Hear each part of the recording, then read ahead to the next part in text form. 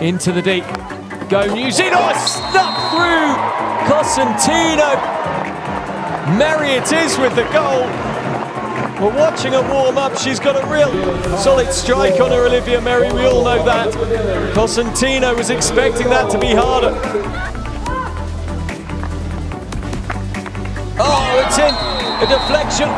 Olivia Merry with the straight strike. It wasn't clean. I think Taryn Davey may have got the touch. We'll have a look.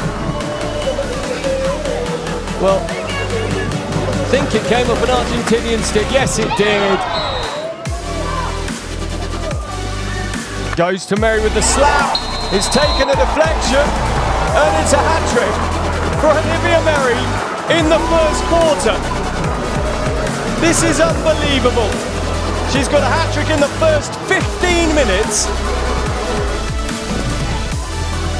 down the right-hand side. Nicholson across.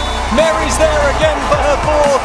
These two have been stupendous today, absolutely unbelievable.